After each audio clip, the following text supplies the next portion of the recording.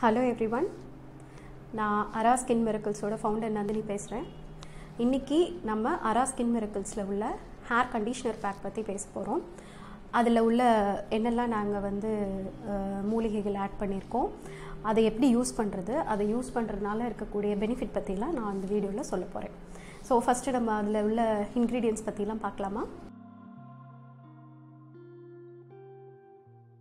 நாங்கள் வந்து செம்பருத்தி இலை ஆட் பண்ணியிருக்கோம் அதுக்கப்புறம் ஆல்மண்ட்ஸ் ஆட் பண்ணியிருக்கோம் பாதாம் அது வந்து நல்ல ஹேரை வந்து நல்லா ஸ்ட்ரெங்தனும் பண்ணும். நல்லா சாஃப்டனும் பண்ணும். அதுக்கப்புறம் அஸ்வகந்தா ஆட் பண்ணியிருக்கோம் அதுக்கப்புறம் மகிழம்பூ. தென் uh, வெந்தயம் ஆட் பண்ணியிருக்கோம் வெந்தயம் வந்து நல்ல ஹேரை வந்து சாஃப்டன் பண்ணும்.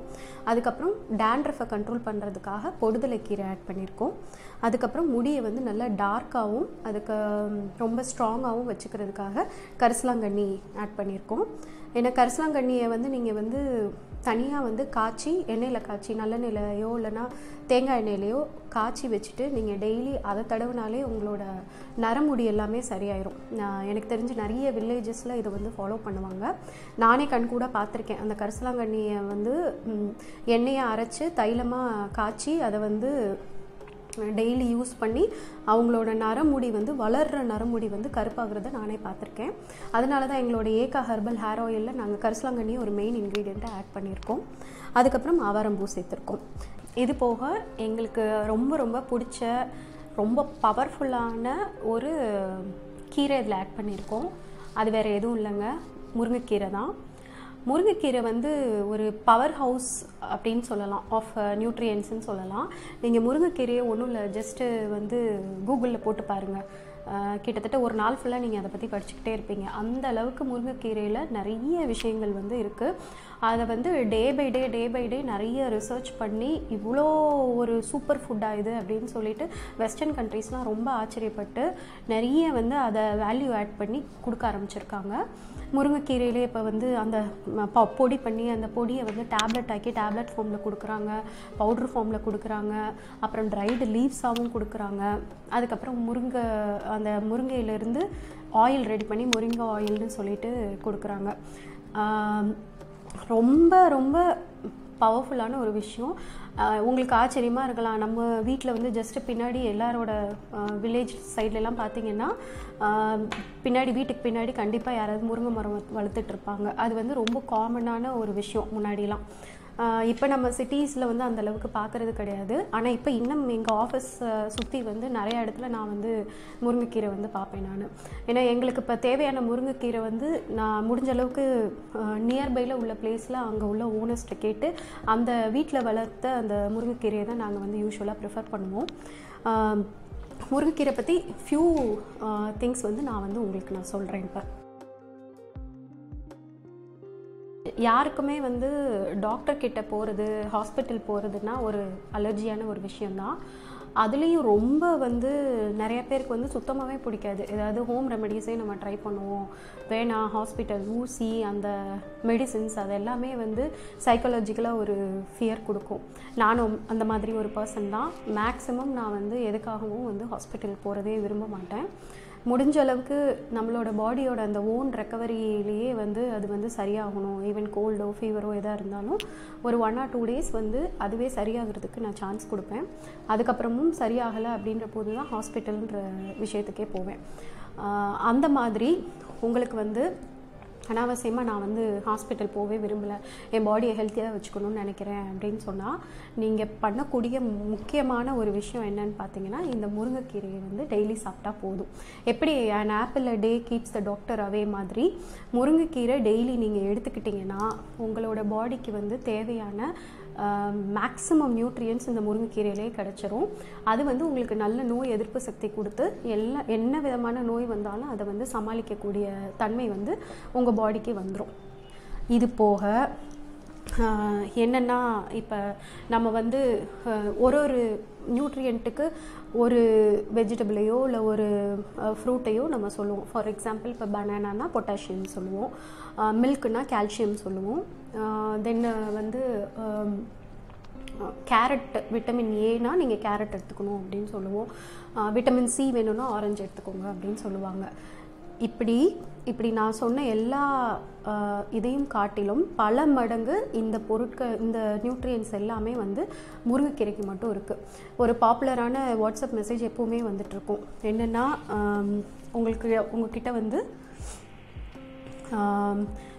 புரோட்டீன் வந்து பாலாடையை விட வந்து ரெண்டு மடங்கு புரோட்டீன் அதிகமாக இருக்குது அதே மாதிரி ஆரஞ்சை விட செவன் டைம்ஸ் வந்து முருங்கைக்கீரையில் வந்து விட்டமின்ஸ் இருக்குது தென் வாழைப்பழத்தை விட த்ரீ டைம்ஸ் வந்து பொட்டாசியம் இருக்குது அதுக்கப்புறம் கேரட்டை விட ஃபோர் டைம்ஸ் வந்து விட்டமின் ஏ அதிகமாக இருக்குதுன்னு சொல்லுவாங்க. பாலை விட ஃபோர் டைம்ஸ் அதிகமாக கால்சியம் முருங்கைக்கீரையில் இருக்குது ஸோ இப்படி எது எதெல்லாம் வந்து ஒரு பர்டிகுலர் நியூட்ரியண்ட்டுக்கு ரொம்ப ஹையாக வந்து இந்த வெஜிடபிளில் தான் இருக்குது இந்த ஃபுட்டில் தான் இருக்குதுன்னு சொல்கிறாங்களோ அது எல்லாத்தையும் விடமே குறைஞ்சது டூ டைம்ஸ் அதிகமாக முருங்கைக்கீரையில் இருக்குன்னா பார்த்துக்கோங்க முருங்கைக்கீரை எந்த அளவுக்கு ஒரு ஸ்பெஷலான ஒரு கீரைன்னு சொல்லிட்டு.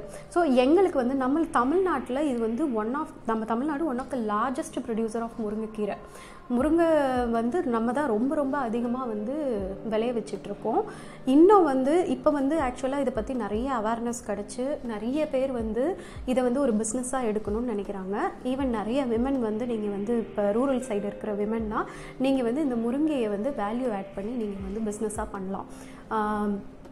முருங்கை வந்து க்ரீன் டீ மாதிரி நீங்கள் ட்ரை பண்ணி அதை வந்து கொடுக்கலாம். இல்லை நல்லா ப்ராசஸ் பண்ணி பவுட்ரு பண்ணி கொடுக்கலாம். இல்லை டேப்லெட் ஃபார்மெட்டில் கொடுக்கலாம். இல்லை முருங்கையை யூஸ் பண்ணி சூப்பு அதுக்கப்புறம் இட்லி பொடி இந்த மாதிரி என்னென்னலாம் வேல்யூ ஆட் பண்ண முடியுமோ அதெல்லாம் வேல்யூ ஆட் பண்ணி கொடுக்கலாம். ஸோ தட் நீங்கள் சொசைட்டிக்கு ரொம்ப நல்லதும் பண்ணுறீங்க ஏன்னா உங்கள் ஹெல்த்துக்கு வந்து உங்கள் சைட்லேருந்து கான்ட்ரிபியூஷனும் இருக்குது உங்களுக்கும் வந்து நல்ல ஒரு பிஸ்னஸ் வரும். ஸோ முருங்கை வந்து ரொம்ப ரொம்ப இப்போ கரண்ட்டில் இருக்கக்கூடிய ஒரு முக்கியமான ஒரு கீரை. ஸோ இது வந்து எங்களுக்கு ரொம்ப ரொம்ப பிடிச்ச கீரை. அதனால நான் வந்து எங்களோட ஹேர் ஆயில் வந்து பார்த்திங்கன்னா ஏக்கா முருங்கை ஹேர் ஆயில் தான் சொல்லியிருக்கேன். ஏன்னா முருங்கை இதில் நிறைய ஆட் பண்ணியிருக்கோம்.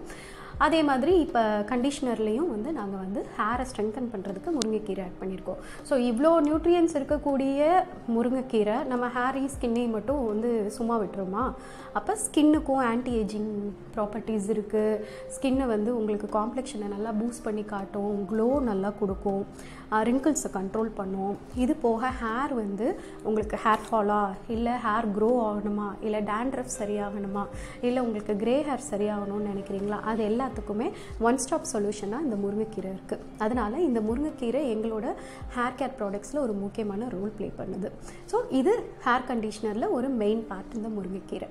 ஓகே இதெல்லாம் தான் அரா ஸ்கின் மெரக்கல்ஸோட ஹேர் கண்டிஷ்னரில் இருக்கக்கூடிய கீ இன்க்ரீடியன்ட்ஸ் ஓகே இதை இப்போ எப்படி யூஸ் பண்ணுறதுன்னு நம்ம பார்க்கலாம்.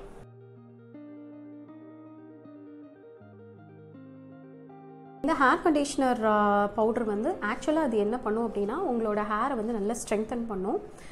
உங்களோட ஹேரோட வால்யூமை இன்க்ரீஸ் பண்ணும் ரெகுலராக யூஸ் பண்ணும்போது. ட்ரை அண்ட் ஃப்ரிஸி ஹேராக இருந்தால் அந்த ஹேரை வந்து நல்லா சாஃப்டன் பண்ணும். அதுக்கப்புறம் ஹேர் க்ரோத்துக்கும் இது வந்து சப்போர்ட் பண்ணும். இதை வந்து நாங்கள் வந்து எப்படி சஜஸ்ட் பண்ணுவோம்னா ஹேர் எங்களோட ஏக்கா ஹேர் ஆயில் ஏக்கா முருங்கை ஹேர் ஆயில் அப்புறம் ஹேர் வாஷ் பவுடர் அது கூட இது ஹேர் கண்டிஷனர் மூணையும் சேர்த்து நாங்கள் வந்து ஒரு ஹேர் கேர் கிட்டாக நாங்கள் கொடுப்போம். ஸோ இப்போ நீங்கள் வந்து ஹேர் ஆயில் வந்து நாங்கள் வந்து சஜஸ்ட் பண்ணது எப்படின்னா த்ரைஸ் அ வீக் நாங்கள் கண்டிப்பாக யூஸ் பண்ண சொல்லியிருக்கோம். Two days once two days once hair wash பண்ணுறது ரொம்பவே நல்லது. உங்களோட பாடியை கூல் பண்ணும். அதே மாதிரி உங்களோட ஹேரில் வந்து டர்ட் சேராமல் பார்த்துக்கும் ஸோ அதனால் அந்த ஹேர் ஆயில் யூஸ் பண்ண பிறகு ஓவர் நைட் யூஸ் பண்ண சொல்லி நாங்கள் சஜஸ்ட் பண்ணுவோம். அடுத்த நாள் வந்து மார்னிங் வந்து ஹேர் கண்டி ஹேர் வாஷ் பவுடர் போட்டு ஹேரை வந்து க்ளீன் பண்ணணும். ஸோ க்ளீன் பண்ண பிறகு இமீடியட்டாகவே இந்த ஹேர் கண்டிஷ்னர் பேக் வந்து நீங்கள் வேறு எதுவும் கண்டிஷ்னர் யூஸ் பண்ணாமல் இந்த ஹேர் கண்டிஷ்னர் பேக்கையே வந்து அப்ளை பண்ணிக்கலாம். ஸோ அப்ளை பண்ணிவிட்டு அதுக்கப்புறம் அது ஒரு டென் டு டுவெண்ட்டி மினிட்ஸ் விடணும். விட்டுட்டு நீங்கள் ஹேர் வாஷ் பண்ணணும். அப்படி இல்லை என்னால் சேம் டேவே இத்தனையும் பண்ண முடியாது. ஹேர் வாஷ் பவுடர் போட்டு திரும்பி ஹேர் கண்டிஷன் போட்டு ரொம்ப லேட் ஆகும். அதே மாதிரி தலையில் அவ்வளோ நேரம் வந்து எனக்கு தலைகீரமாக இருந்ததுன்னா எனக்கு ஏதாவது கோல்டு வரும் அப்படின்னு ஃபீல் பண்ணிங்கன்னா நீங்கள் இன்னொரு நாள் ஸ்பெஷலாக வந்து இது மட்டும் நீங்கள் வந்து பண்ணலாம்.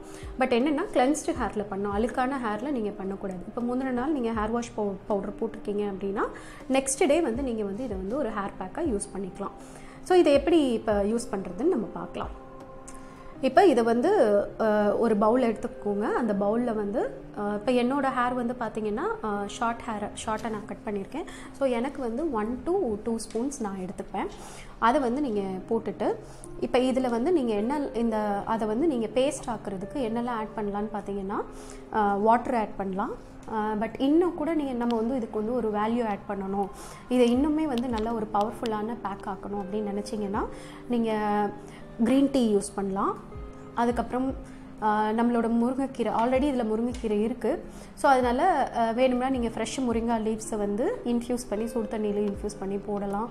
அப்படி இல்லைன்னா எனி ஹர்ப் உங்களுக்கு வந்து ஹேருக்கு நல்லது பண்ணக்கூடிய எனி ஹர்பையும் வந்து சுடு தண்ணியில் ஒரு ஒன் ஆர் டூ மினிட்ஸ் வந்து போட்டுட்டு அதை ஃபில்டர் பண்ணி அதை வந்து நீங்கள் இதில் யூஸ் பண்ணலாம். இது போக அரிசி களைஞ்ச தண்ணி யூஸ் பண்ணலாம். அதுக்கப்புறம் வடி தண்ணி வடிகஞ்சி இருக்கு இல்லைங்களா அந்த கஞ்சியையும் போட்டு நீங்கள் மிக்ஸ் பண்ணலாம். ஸோ இது இன்றைக்கி நான் வந்து இதில் வந்து க்ரீன் டீ மிக்ஸ் பண்ணியிருக்கேன். ஸோ க்ரீன் டீ மிக்ஸ் பண்ணி அதை நல்லா பேஸ்ட் ஆக்கிக்கோங்க. கொஞ்சம் அது வந்து அந்த வாட்டரில் வந்து ப்ராப்பராக உங்களுக்கு மிக்ஸ் ஆகலை. ஏன்னா ரொம்ப ஸ்மூத் பேஸ்ட்டாக மாற்றணும் ஸோ ஸ்மூத் பேஸ்ட்டாக மாறலை அப்படின்னா நீங்கள் மிக்சியில் லைட்டாக போட்டு ஒரு பல்ஸ் பண்ணிக்கலாம் நீங்கள் பல்ஸ் பண்ணிவிட்டு அதுக்கப்புறம் வந்து அதை எடுத்து நல்ல க்ரீமி பேஸ்ட்டாக இருக்கணும் அது. So, கொஞ்சம் கூட அந்த லம்ஸ் இருக்கக்கூடாது. அந்த மாதிரி பேஸ்ட்டாக எடுத்துட்டு உங்களோட ஹேரில் உங்களுக்கு உங்களோட கன்வீனியன்ஸ் படி நல்லா அப்ளை பண்ணிக்கோங்க. நீங்கள் டிவைட் டிவைட் பண்ணி ப்ராப்பராக அதை வந்து ஹேரை வந்து பார்ட்டிஷன் பண்ணி அப்ளை பண்ணாலும் ஓகே இல்லை ஓவராலாக வந்து ஹேர் ஃபுல்லாக வந்து நீங்களே பார்த்து அப்ளை பண்ணாலும் ஓகே என்னென்னா எல்லா ஹேர்லேயும் வந்து அது வந்து பட்டிருக்கணும். முக்கியமாக ஸ்கேல்ப்லேயும் நல்லா பட்டிருக்கணும். ஸோ அந்தளவுக்கு நல்லா பண்ணிவிட்டு ஒரு ஒன் ஆர் டூ மினிட்ஸ் மைல்டாக ஒரு மசாஜ் மட்டும் பண்ணுங்கள் பண்ணிவிட்டு அப்படியே நீங்கள் வந்து அந்த ஹேரை வந்து ஏதாவது ஒரு கிளிப் போட்டு டென் டு டுவெண்ட்டி மினிட்ஸ் நீங்கள் விடலாம்.